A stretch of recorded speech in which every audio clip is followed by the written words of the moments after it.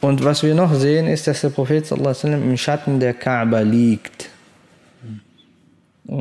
Das heißt ja, es ist, es ist keine Art der Verhöhnung der Kaaba, sich an die Kaaba zu lehnen mit dem Rücken, auch wenn es heute vielleicht nicht mehr möglich ist, äh, weil es da nie zum Ruhestand kommt.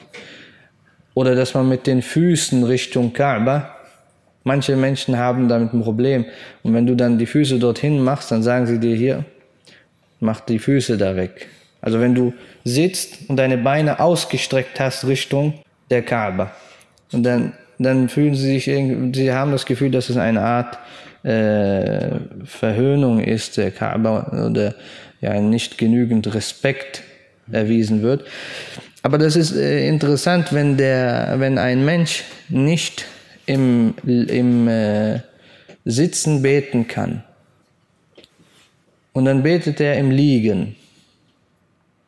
Wo macht er seine Füße hin? Richtung Qibla, richtig? Also von daher, das ist keine Art der Verhöhnung oder so, das ist einfach etwas ganz Normales, ja.